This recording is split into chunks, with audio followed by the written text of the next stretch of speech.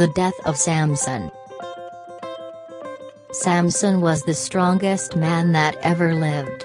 At one time he tore a live lion apart with his hands. At another he killed 1,000 men, and at another he carried away the gates of Gaza, a city of the Philistines. But the very last thing that he did was the most wonderful of all. The Philistines had cruelly put out his eyes. At a feast where there were over 3,000 of them, Samson got a boy to show him the way, and then putting his hands upon two pillars that held up the roof. And praying God for help, he pressed upon them with all his might. The pillars broke, the roof fell. Samson himself and the Philistines were killed.